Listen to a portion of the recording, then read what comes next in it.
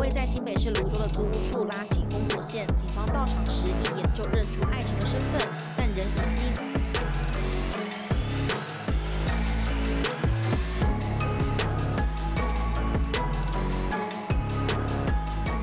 目前我们已经紧急通知爱成的父母从马来西亚赶来台湾，相关的手续我们都跟跟政府在洽办当中，相信很快就会抵达台湾，参与我们的治商。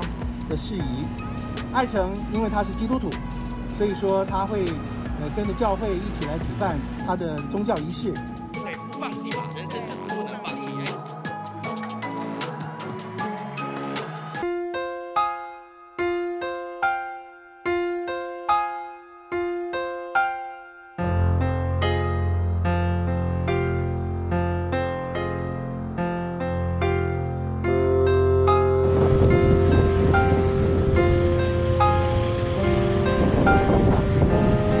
呃，卖海南鸡饭的，就是演我自己啦。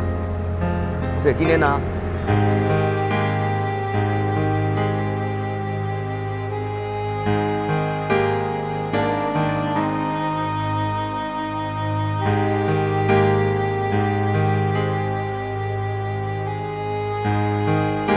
我昨天才会想要做这件事情，造成他的不舒服。陪我走过太多我在台湾经历的事情，比任何事都还激烈的的的事件，他都陪我走过来，所以没有什么不能。